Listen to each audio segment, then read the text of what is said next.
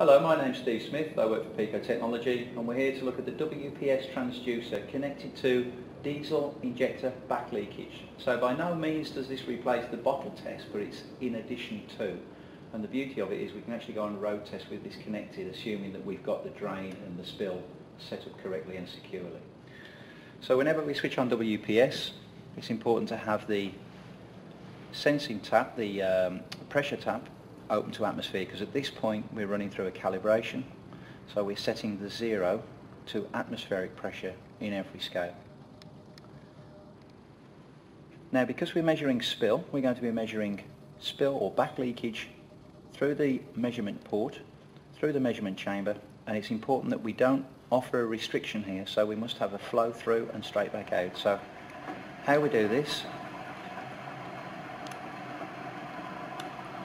is using a cable tie. That way we can actually keep the pressure tap or the drain tap or the bleed tap open and we're connecting this issue. So tap is closed. Tap is now open. So any pressure we apply to here, back leakage, will drain straight through into our spill bottle. Connection wise we are connected to number 4 injector on this vehicle so it's at the end of the injector rail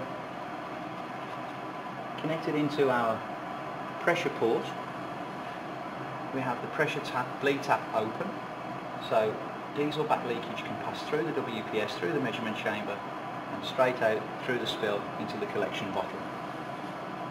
We have a breakout lead connected to injector number one measuring current so now we can actually monitor the spill from each injector, the pressure in the spill, in the back leakage from each injector whilst monitoring the signal, monitoring the signal from number one injector. Important to note that when we actually start the vehicle, if we can hold the WPS pressure transducer upside down momentarily, we can actually bleed any air that is trapped within the pressure port, through the measurement chamber and out through the drain port.